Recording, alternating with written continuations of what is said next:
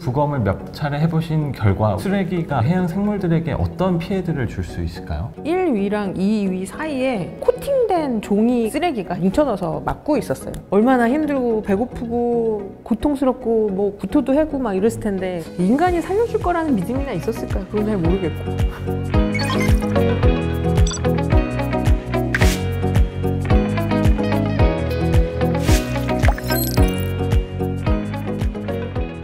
안녕하세요. ESG 교육 컨텐츠 그린 페스티벌에 오신 여러분을 환영합니다. 저는 진행을 맡은 LG화학의 이영준 책임이고요. 오늘은 좀 특별한 분을 모셨습니다. 국내 해양동물 전문 수의사 1호 분이시죠. 이영란 수의사님을 모시겠습니다. 안녕하세요. 안녕하세요. 수의사님. 네, 이영란입니다. 반갑습니다. 네, 소개 좀 부탁드릴게요. 해양생물 전문 수의사이고 해양 보전을 위한 비영리 법인 플랜 오션을 제가 열었고 지금 거기에 대표이사를 맡고 있습니다. 어, 제가 궁금한 게 주로 어떤 동물들을 보존하는데 앞장서고 계신 거죠? 사실 이제 저의 궁극적인 목표는 바다가 지속 가능한 바다로 유지되는 거예요. 근데 어떤 부분을 가장 먼저 시급하게 어, 해결을 해야 되냐 뭐 이런 우선순위에서 제가 조금 더 집중하고 있는 게 해양 포유류 그 중에서도 특히 고래류 아, 고래. 네, 그 고래류가 처한 위기를 해결하게 되면 바다가 좀 지속 가능하게 되는 부분들이 많아요. 왜냐하면 그 해양 포유류기 때문에 우리랑 되게 비슷하거든요. 네, 우리한테 똑같이 올 수 있는 그런 위협이기 때문에 그걸 해결하면 바다가 지속 가능하게 될 수 있다고 저는 이제 그렇게 믿고 활동하고 있죠. 우리나라에는 어떤 고래들이 많이 살고 있을까요? 동해는 참돌고래, 낙돌고래.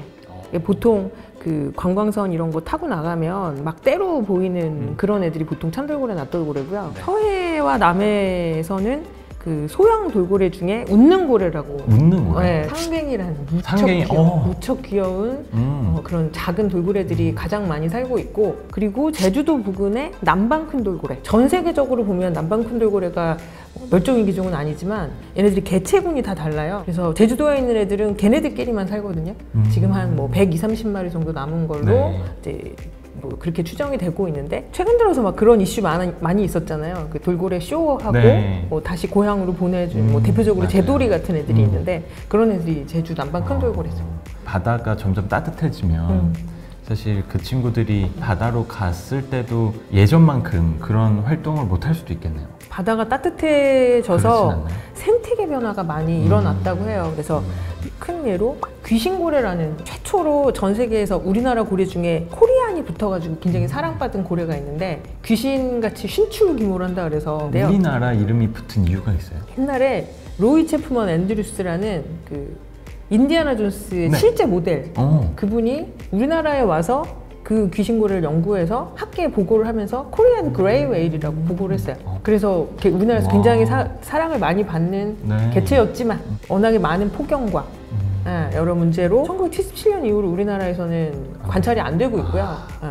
근데 이제 얘네들은 고작 100마리 정도 지금 남아 있는 걸로 추정이 되고 반대편에 있는 애들은 보존이 잘 됐어요. 그래서 걔네는 2만 마리 이상 개체 수가 유지되는 걸로 지금 알려져 있는데 최근 한 3, 4년 사이에 몇백 마리가 죽었단 말이에요. 네. 그래서 걔네를 부검을 해보니까 먹이를 먹고 몸에 에너지를 저장하는 그런 지방층이 너무 얇아져 있거나 없거나 이런 애들이 많이 발견이 돼서 이제 학자들이 그런 추정을 했죠. 그래서 얘네들이 밥을 먹는 알래스카에 뭔가 얘네들이 먹을, 먹을 게 좀 변한 게 아니냐. 그렇다면 먹이 생태계가 이렇게 바뀐 게 최근에 급격하게 진행됐던 기후변화, 지구온난화 이런 것들의 영향이 아니겠나 이렇게 추정을 하고 있습니다. 와, 하여튼 지구온난화는 많은 피해를 주는 것 같습니다. 그럼요. 네. 제가 듣기로는 국내에서 손꼽을 정도로 고래 부검을 많이 하셨다고 들었는데 이건 어떤 작업인가요? 왜 죽었는지 몸 안에 어딘가에 흔적이 있을 거니까 예, 그거를 찾는 거 하나 그다음에 두 번째는 이 개체에 대한 정보 얘는 누구고 음. 얘는 뭘 먹고 음. 어, 얘는 몸 안에 어떤 이상이 있고 그리고 세 번째는 얘가 가진 바다의 정보 어, 얘 몸에서 뭔가를 찾았는데 너무너무 지저분하다 어 바다가 뭐 때문에 오염이 많이 됐구나 위험하구나 이런 것들을 알 수 있는 게 부검이기 때문에 물속에 있잖아요 그렇죠. 우리가 안 보이는 데서 살고 있기 때문에 부검으로 우리가 모르는 그런 많은 정보를 얻을 수가 있어요. 그러면 부검을 많이 하셨으니까 그 중에 잊혀지지 않는 사례들이 분명히 있을 것 같은데 하나 소개해 주실 수 있을까요? 아직까지 뚜렷하게 기억이 나는 게 이 돌고래들은 먹이를 그거를 딱 타 타겟해서 그걸 먹어요. 그래서 이런 해양 쓰레기를 먹을 확률이 그렇게 높지 않아요. 제가 봤던 뱃머리 돌고래라는 돌고래였는데 계속 제주도에 얕은 바다로 오고 또 얕은 바다로 오고 뭐 이래서 걔가 당시 구조치료기관에 해가지고 한 5일 정도 케어를 했는데 결국 죽어서 이제 제가 부검을 하게 됐는데 얘네들이 위가 세 개거든요. 1위랑 2위 사이에 그 큰 코팅된 종이 같은 이런 그 쓰레기가 해양 쓰레기가 이렇게 뭉쳐져서 막고 있었어요. 그래서 쓰레기 먹은 건가요? 쓰레기를 먹은 거죠. 어. 어떻게 해서 그 큰 쓰레기를 먹게 됐는지는 모르겠지만 결국 발견됐을 때 정말 삐쩍 꼴았다는 표현이 진짜 맞는 표현이고 가까운 연안에 오면서 무슨 생각을 했을까? 얼마나 힘들고 배고프고 고통스럽고 뭐 구토도 하고 막 이랬을 텐데 살려달라고 애원했을 수도 있겠네요. 말로는 못했겠지만 인간이 살려줄 거라는 믿음이나 있었을까? 그건 잘 모르겠고. 더 슬프네. 고래 부검이 굉장히 중요한 역할을 한다고 하셨는데 해외도 부검을 활발하게 할 것 같아요. 해외랑 우리나라의 다른 점은 뭐가 있을까요? 미국은 해양 포유류를 보호하는 법이 따로 있을 정도예요. 바다 전체를 이렇게 구역을 이렇게 나눠서 관리를 해요. 그러니까 담당을 하는 거죠. 네. 그래서 거기에 죽거나 살아서 밀려온 개체, 이걸 좌초됐다고 하는데 좌초된 고래류에 처음으로 가서 대응하는 그거를 그 전문가들이 다 맡아서 한단 말이에요. 핫라인 해서 어. 연락 오면 가서 어 이거 지금 죽었네 부검해야 되겠다. 어 얘 이거 지금 살았는데 무슨 무슨 치료해서 내보내면 되겠네. 뭐 이런 걸 한단 말이죠. 근데 우리나라는 그렇게 아직 못 하고 있어요. 왜냐하면 일부 고래는 유통이 되기 때문에 아. 그거를 불법으로 잡는 네. 경우도 있고 그러다 보니까 지금 우리나라는 제일 처음으로 가서 대응하는 게 해양 경찰이에요. 음, 네. 그리고 이거를 불법으로 잡았나 뭐 이런 쪽에 좀 더 초점을 맞춰서 보기 때문에 고래를 보전의 시각을 바라보기보다 수산 자원으로서의 좀 바라보는 시각이 더 커요. 네. 이런 쪽의 시선으로 보면 대응하는 방법이 좀 달라지는 거죠. 닮았다는 얘기도 제가 가끔 듣고 하는 그런데요. 어? 네. 약간 뭔지 알 것 같기도 하고요. 예전에 한 10여 년 전쯤에 얘네를 그 구조 치료하게 된 경험이 있었거든요. 아 직접. 네, 그래서 이 주둥이가 이렇게 다 갈리고 막 이런 애들을 구조해다가 치료하면서 처음으로 걔네를 얼굴을 제가 가까이 봤는데요. 진짜 이쁘게 생긴 거예요. 어, 그러면 지금 상갱이가 한 몇 마리 정도 지금 있다고? 서해만 조사했었을 때 네. 그때 2005년, 2006년 요때가 한 3만 6천 마리 정도 됐었다면 네. 2011년, 12년 요때 조사했을 때는 어, 한 3분의 1로 급감해서 그럼 만 마리도 거의 60% 70%가 감소했다라고 추정이 되는 거죠. 지금 또 10년이 지났으니까 또 더 줄었을 수도 있겠네요. 상갱이가 그물에 걸려서 죽어요. 혼획, 아, 뭐 부수 어획 뭐 이렇게 얘기를 하는데요. 혼액이 뭔지 한번 설명해 주시죠. 물고기나 아니면 폐류 이런 걸 잡으려고 쳐놓은 그물에 의도하지 않은 다른 생물들이 와서 걸려 죽는 걸 이제 말하는 거죠. 근데 네. 혼액 자체는 불법이 아니에요. 여러 그물에 많이 이제 걸려 죽는데 그 중에서도 특히 많이 죽는 그 또 그물이 있어요. 어, 방식이 네. 확실한 건 누구도 상갱이가 죽는 걸 원하는 사람이 없어요. 그물을 친 분도 마찬가지고. 네. 와. 네, 왜냐하면 얘네가 죽는다 그래서 아무한테도 이득이 안 돼요. 만약에 어업을 하다가 상갱이가 혼액이 됐어요. 근데 얘를 이제 데리고 육지에 와서 신고를 하면 그 절차가 너무 복잡하고 고래라는 하나로 묶어서 같은 대응이 이루어지기 때문에 네. 경찰이 뭔가 조서를 아, 경찰이 말이에요. 조사를 한단 말이에요. 아. 그러니까 이제 어머니 입장에서는 그게 부담이 되고 그렇죠. 싫으니까 음, 예. 숨길 수밖에 없겠네. 숨겨요 자꾸만 이렇게 그래서 이제 오히려 몇 마리가 죽고 있는지 예전보다 더 파악하기가 어려워졌어요 정부에서도 가만히 있진 않죠 음. 네. 그래서 얘네들이 빠져나갈 수 있는 탈출망을 만들었어요 음, 좋은 방법인 것 같아요. 그럼요 그래서 탈출망을 달면 얘네들이 빠져나갈 수가 있는데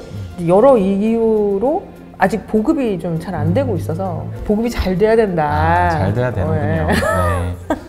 많이 써주세요. 우리는 이제 소비자로서 네. 큰 힘을 가지고 있는 거잖아요. 지속 가능한 이 방식으로 어업을 하느냐를 여러분들이 지켜보시면 됩니다. 음, 어떻게 지켜볼까요? 지속 가능한 방법으로 생산된 수산물에 대한 음. 인증이 네. 우리나라 자체에서 만들어진 게 아니라 이제 국제 NGO나 이런 데서 음. 만든 게 있어요. 네, 있고요. 인증. 네. 네. 얘네들 개체수 줄지 않게 잘 해서 잡는 그렇죠. 거, 주변 생태계에 교란시키지 않는 거, 그다음에 인권까지 그 주변의 모든 그 사회적인 그런 합의가 평화롭게 이루어지는 그런 잡는 업. 그게 이제 MSC라는 네. 그거고 인증이고 네. 그다음에 지속 가능하게 생산된 양식업 인증은 ASC라는 거예요. 음. 뭐 그 안에 양식장에서 나올 수 있는 그런 오염 물질이라던가 네. 어, 너무 밀식하지 않고. 근데 여러분들한테 지금 가서 가셔서 앞으로 수산물 고를 때 그런 것만 사세요. 음. 라고 말을 못 드립니다. 없어요, 아, 별로. 무슨 일? 아, 없어요. 없군요. 사고 싶어도. 조금 있는데 진짜 드물고요. 어. 대부분 해외에서 수입한 게 많아요. 음. 그러면 또 다른 의미로 그것도 또 탄소가 좋은 건 아니죠. 그렇죠. 예, 비행기 타고 네, 오고 네, 배로 네. 오고 이런 거면. 분명히 거기도 네. 탄소 소비가 있으니까. 그래서 이제 제일 좋은 건 우리나라에서 생산되는 이런 수산물들이 이 인증을 받게 하는 아. 거예요. 그렇게 되면 여러분들이 이제 가서 그걸 사세요라고 자신 있게 말씀드리는 그날이 빨리 오면 좋겠는데 음. 일단 그래도 알고는 계시라고 아. 제가 혹시 이 마크를 어디 어, 가서 네. 보신다면 어, 또. ASC랑 어, ASC. 어. ASC. 그다음에 여기가 MSC. 네, MSC. 예, 요런 아, 게 네. 보이면 어 음. 노력했네. 어, 이거는 국내인데도 ASC가 있네요. 국내에도 네. 지금 몇 군데가 있어요. 이런 기장미역, 완도 전복 뭐몇 네. 군데가 있습니다. 아, 네, 이- ASC, MSC를 몰랐기 때문에 사실 저도 처음 봤고 이걸 알게 되면 아무래도 그래도 한 번 더 고민하게 될 것 같고요. 음. 이런 게 더 많아지면 살 기회도 많을 것 같아요. 첫 번째 질문입니다. 네. 여름 휴가를 떠난다면 어디로 갈까요? 산, 바다. 아, 둘다 갈 건데 아, 잠깐만 오래 고민하시면 안 돼요. 산에 갔다가 바다로 가. 아니 바다 가겠습니다. 바다? 왜요? 제가 사실 시간이 조금 더 나면 큰 대형 고래들 볼 수 있는 그런데 프리다이빙 해서 그 향고래나 이런 거 보는 데 있거든요. 큰 고래들이랑 네. 같이 이렇게 수영하고 이런 거 너무 가고 싶은데 자, 두 번째 질문 넘어갈게요. 상어와 함께 수영하기, 그리고 바다 사자와 많이 먹기 대결하기. 그걸 둘 중에 하나 하라고요.